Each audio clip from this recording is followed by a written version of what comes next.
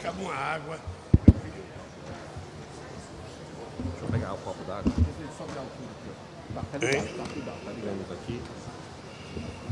Vou pegar o copo d'água.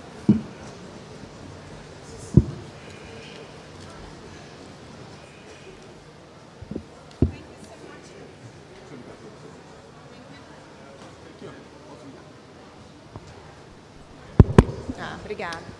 Muito obrigado a todos. Many thanks, everyone. Uh, it's great to be here. Uh, would like to announce uh, the president-elect, uh, Mr. Luiz Inácio Lula da Silva. We will speak now as uh, an invitee from from the COP27 presidency.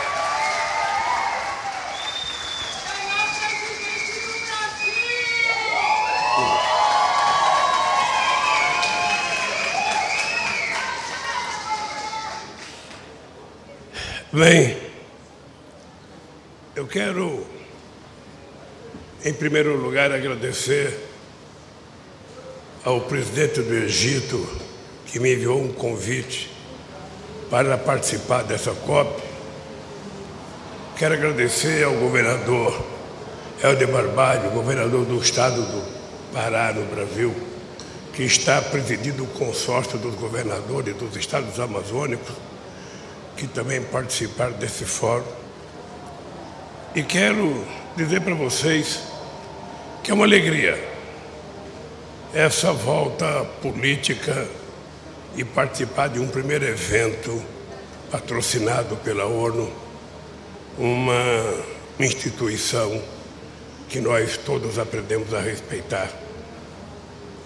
E, em primeiro lugar, eu quero agradecer a oportunidade de estar aqui no Egito, berço da civilização que desempenhou um papel extraordinário na história da humanidade. Quero também agradecer o convite para participar da 27ª Conferência das Nações Unidas sobre as Mudanças Climáticas.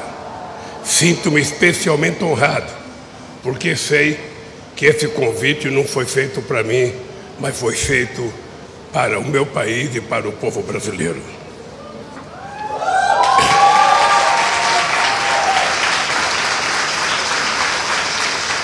Este, este convite, feito a um presidente recém-eleito, antes mesmo de sua posse, é o reconhecimento de que o mundo tem pressa de ver o Brasil participando novamente das discussões sobre o futuro do planeta e de todos os seres que neles habitam. O planeta que a todo momento nos alerta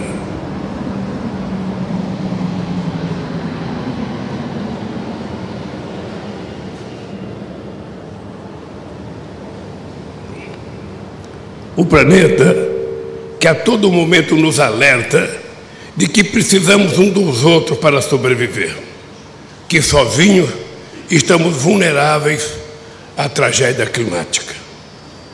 No entanto, ignoramos esses alertas, gastamos trilhões de dólares em guerras que só trazem destruição e mortes, enquanto 900 milhões de pessoas em todo o mundo não têm o que comer. Vivemos um momento de crises múltiplas, crescentes tensões geopolíticas, a volta do risco da guerra nuclear, crise de abastecimento de alimentos e energia, erosão da biodiversidade e aumento intolerável da desigualdade. São tempos difíceis, mas foi nos tempos difíceis e de crise que a humanidade sempre encontrou forças para enfrentar e superar seus desafios. Precisamos de mais confiança e determinação. Precisamos de mais liderança para reverter a escalada do aquecimento. Os acordos já finalizados têm que sair do papel. Para isso, é preciso tornar disponíveis recursos para que os países em desenvolvimento, em especial os mais pobres, possam enfrentar as consequências de um problema criado em grande medida pelos países ricos, mas que atinge de maneira desproporcional os mais vulneráveis. senhoras e senhores, estou hoje aqui para dizer que o Brasil está pronto para se juntar novamente aos esforços para a construção de um planeta mais saudável, de um mundo mais justo, capaz de acolher com dignidade a totalidade de seus habitantes e não apenas uma minoria privilegiada. O Brasil acaba de passar por uma das eleições mais decisivas de sua história. Uma eleição observada com atenção inédita pelos demais países. Primeiro, porque ela poderia ajudar a conter o avanço da extrema-direita autoritária e antidemocrática e do negacionismo climático no mundo. E também porque e também porque do resultado da eleição no Brasil dependia não apenas a paz e o bem-estar do povo brasileiro, mas também a sobrevivência da Amazônia e, portanto, a sobrevivência do nosso planeta. Ao final de uma disputa acirrada, o povo brasileiro fez a sua escolha e a democracia venceu. Com isso, volta a vigorar os valores civilizatórios, o respeito aos direitos humanos e o compromisso de enfrentar com determinação a mudança climática. O Brasil já mostrou ao mundo o caminho para derrotar o desmatamento e o aquecimento global. Entre 2004 e 2012, reduzimos a taxa de devastação da Amazônia em 83%, enquanto o PIB agropecuário crescia 75%. Infelizmente, desde 2019, o Brasil enfrenta um governo desastroso em todos os sentidos no combate ao desemprego e às desigualdades, na luta contra a pobreza e a fome, no descado com a pandemia que matou 700 mil brasileiros e brasileiras, no desrespeito aos direitos humanos, na sua política externa que isolou o país do resto do mundo e também na devastação do meio ambiente. Não por acaso, a frase que mais tenho ouvido dos líderes diferentes, de diferentes países é a seguinte frase: O mundo sente saudade do Brasil. Quero, quero dizer para vocês que o Brasil está de volta. Está de volta.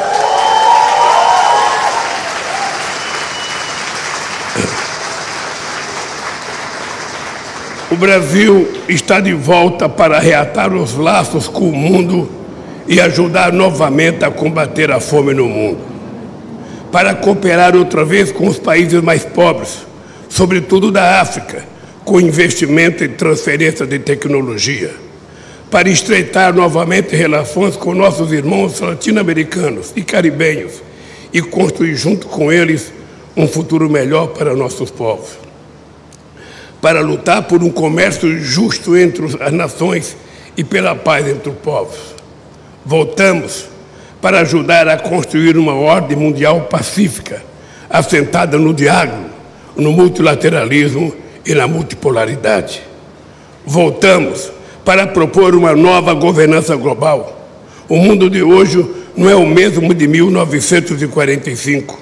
É preciso incluir mais países no Conselho de Segurança da ONU e acabar com o privilégio do veto. Hoje, hoje restrito a alguns poucos para a efetiva promoção do equilíbrio e da paz. No pronunciamento que fiz no fim da, da eleição no Brasil, em 30 de outubro, ressaltei a importância de unir o país, que foi dividido ao meio pela propagação em massa de fake news e discurso do ódio. Naquela ocasião eu disse que não existem dois Brasis. Agora, Quero dizer que não existe dois planetas Terra. Somos uma única espécie chamada humanidade. E não haverá futuro enquanto continuarmos cavando um poço sem fundo de desigualdades entre ricos e pobres.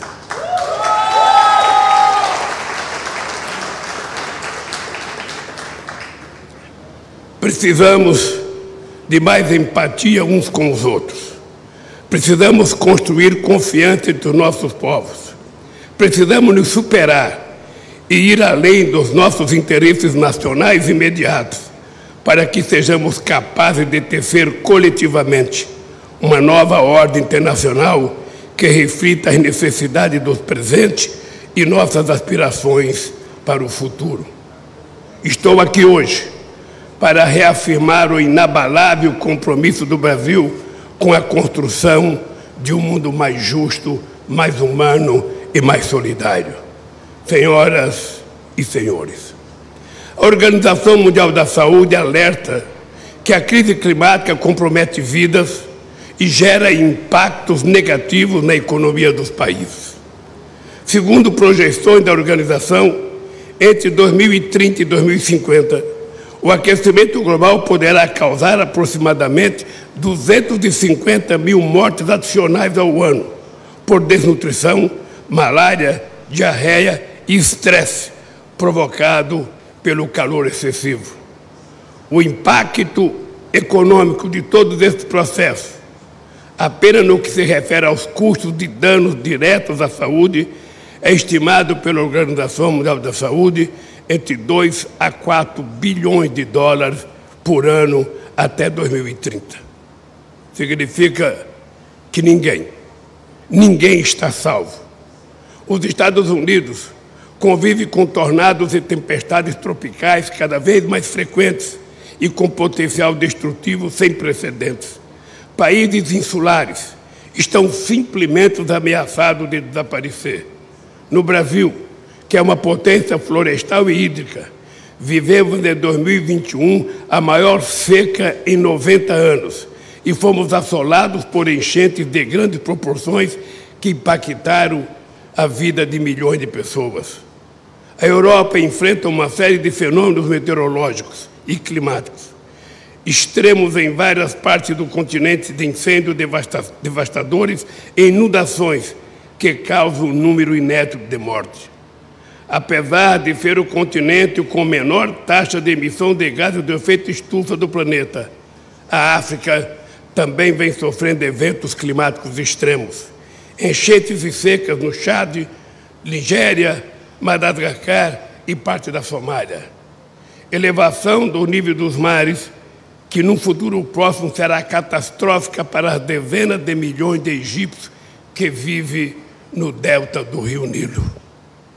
Repito, ninguém está salvo. A emergência climática afeta a todos, embora seus efeitos recaiam com maior intensidade sobre os mais vulneráveis. A desigualdade entre ricos e pobres manifesta-se até mesmo nos esforços para a redução das mudanças climáticas. 1% mais, o 1% mais rico da população do planeta vai ultrapassar em 30 vezes o limite das emissões de gás carbônico necessário para evitar que o aumento da temperatura global ultrapasse a meta de um grau meio centígrado até 2030. Esse 1% mais rico está a caminho de emitir 70 toneladas de gás carbônico per capita por ano. Enquanto isso, os 50% mais pobres do mundo emitirão, em média, apenas uma tonelada per capita, segundo o um estudo produzido pela ONG Oxfam e apresentada na COP26. Por isso, a luta contra o aquecimento global é indissociável da luta contra a pobreza e por um mundo menos desigual e mais justo. Queridas companheiras e queridos companheiros, não há segurança climática para o mundo sem uma Amazônia protegida. Não mediremos esforços para zerar o desmatamento e a degradação de, de nossos biomas até 2030 da mesma forma que mais de 130 países se comprometeram a assinar a Declaração de Líderes de Glasgow sobre as florestas. Por esse motivo, quero aproveitar esta conferência para anunciar que o combate à mudança climática terá o mais alto perfil na estrutura do meu próximo governo.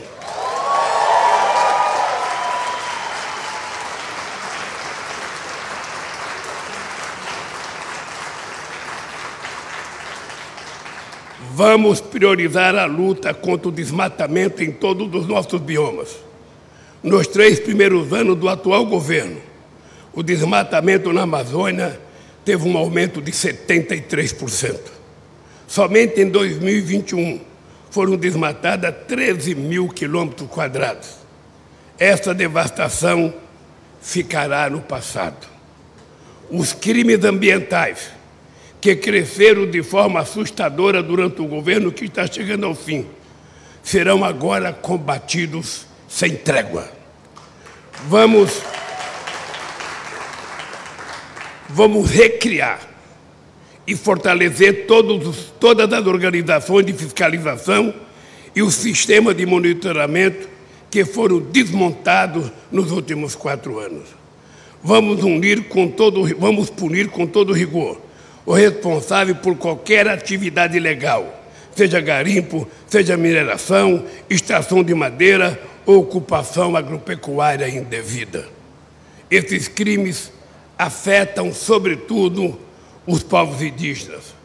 Por isso, vamos criar o Ministério dos Povos Originários para que os próprios indígenas apresentem ao governo propostas de políticas que garantam a eles sobrevivência digna, segurança, paz e sustentabilidade.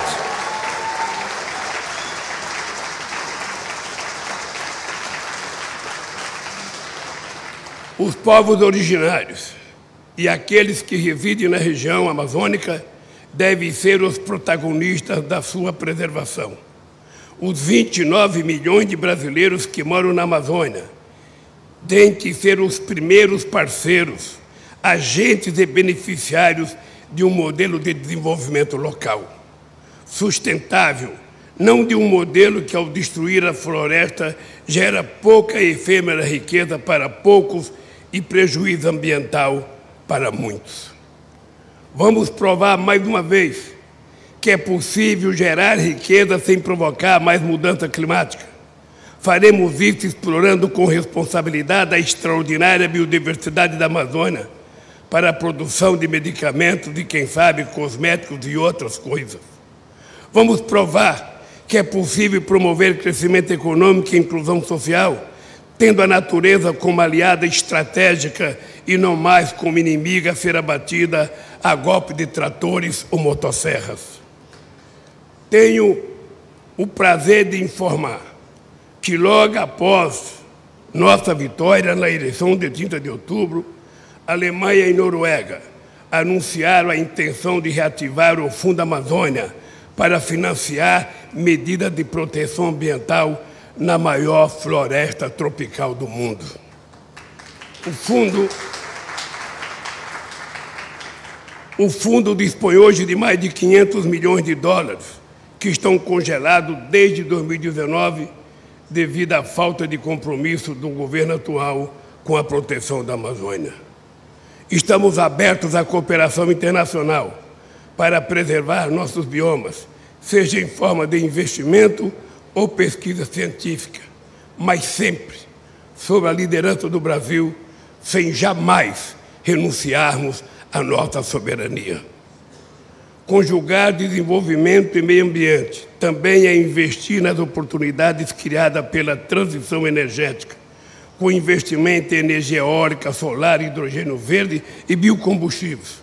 São áreas nas quais o Brasil tem um potencial intenso, imenso em particular no Nordeste brasileiro, que apenas começou a ser explorado. Cuidar das questões ambientais também é melhorar a qualidade de vida e as oportunidades nos, outros, do, do, nos centros urbanos, fornecer alternativas de meio de transporte com menor impacto ambiental, gerar empregos em indústrias menos poluentes na cadeia industrial da reciclagem, que melhoram o aproveitamento das matérias-primas e no saneamento básico, que protege a nossa saúde e nossos rios, cuidando da água, elemento indispensável à nossa vida.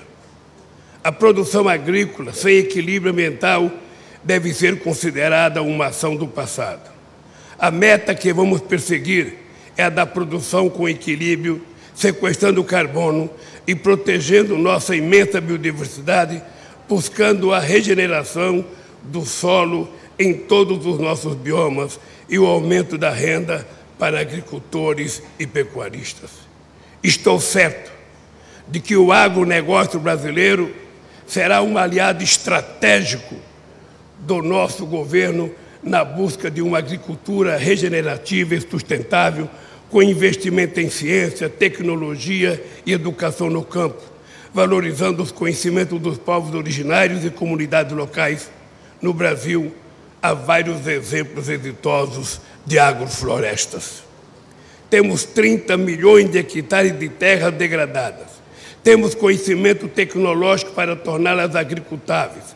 Não precisamos desmatar sequer um metro de terra, de floresta, para continuarmos a ser um dos maiores produtores de alimentos do mundo. Este é um desafio que se impõe a nós brasileiros e aos demais países produtores de alimentos. Por isso, estamos propondo uma aliança mundial pela segurança alimentar, pelo fim da fome e pela redução da desigualdade com total responsabilidade climática.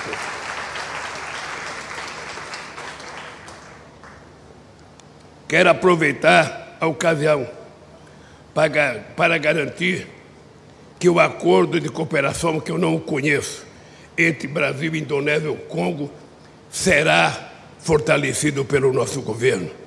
Juntos, nossos três países detêm 52% das florestas tropicais primárias remanescentes no planeta Terra. Juntos, trabalharemos contra a destruição de nossas florestas, buscando um mecanismo de financiamento sustentável para deter o avanço do aquecimento global. Quero também propor duas importantes iniciativas a serem apresentadas formalmente pelo meu governo, que se iniciará no dia 1 de janeiro de 2023.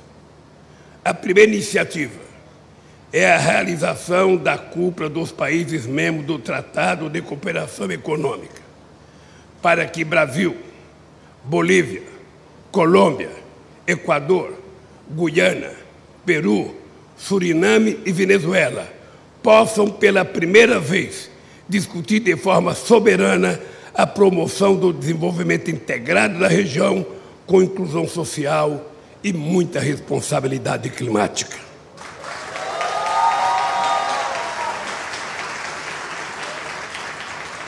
A segunda iniciativa é oferecer o Brasil para sediar a COP30 em 2025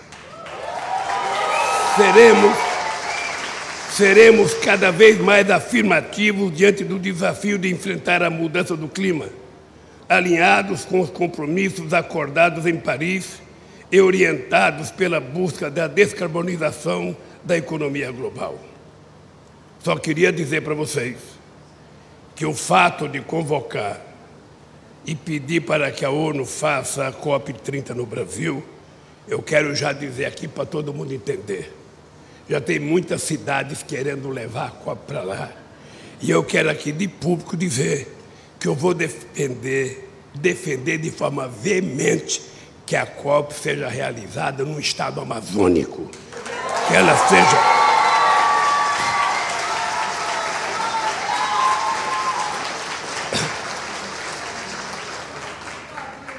Para que as pessoas que defendem tanto a Amazônia tenham noção da importância dessa parte do mundo que nós, possivelmente sozinhos, não teremos forças e nem dinheiro para cuidar com o cuidado que a Amazônia precisa ser cuidada.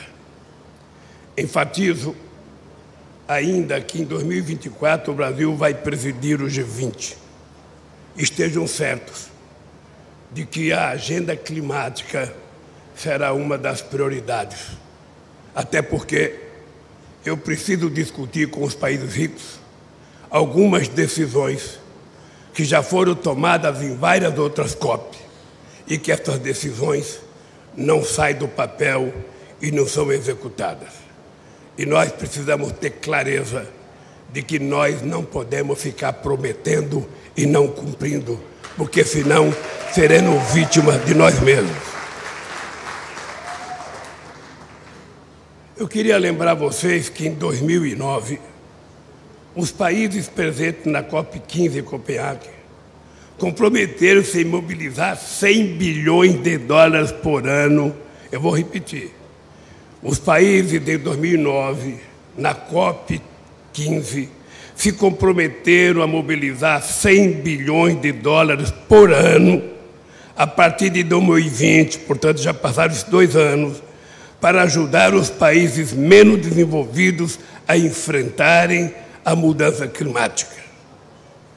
Então, eu não sei quantos representantes de países ricos tem aqui, mas eu quero dizer que a minha volta também é para cobrar aquilo que foi prometido na COP15.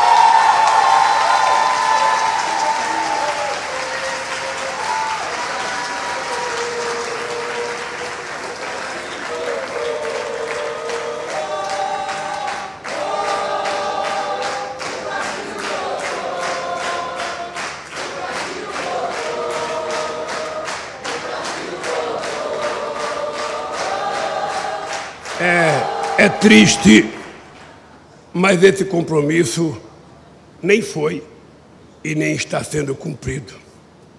Por isso, nos leva a reforçar ainda mais a necessidade de avançarmos em outro tema desta COP27. Precisamos, com urgência, mas com muita urgência, de mecanismos financeiros para remediar perdas e danos causados em função da mudança do clima. Não podemos mais adiar esse debate. Precisamos lidar com a realidade de países que têm a própria integridade física de seus territórios ameaçada e as condições de sobrevivência de seus habitantes seriamente comprometidas. É tempo de agir. Não temos mais tempo a perder. Não podemos mais conviver com essa corrida rumo ao abismo.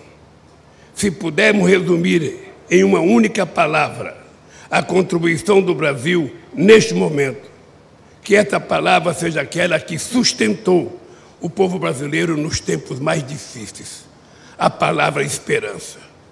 A esperança combinada com uma ação imediata e decisiva pelo futuro do planeta e da humanidade. Eu tenho repetido desde o momento em que eu era presidente entre 2003 e 2010. A ONU precisa avançar.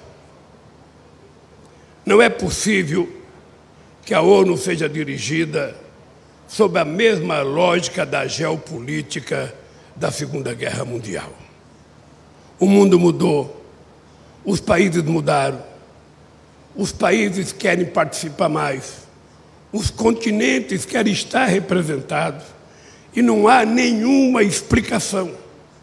Não há nenhuma explicação para que só os vencedores da Segunda Guerra Mundial sejam os que mandam e dirigem o Conselho de Segurança.